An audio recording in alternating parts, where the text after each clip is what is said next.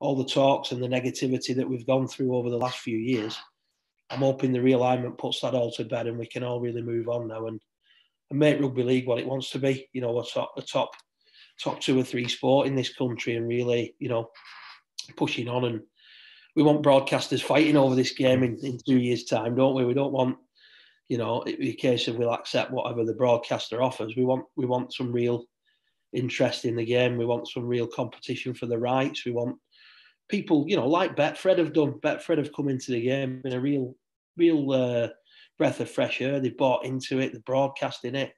You know, the sportsman's a byproduct of that, and and and, and we want more more partners of that ilk fighting to be involved with rugby league because it's a sport that's uh, going places and it's not killing itself and infighting and divided. It's a unified game, effectively.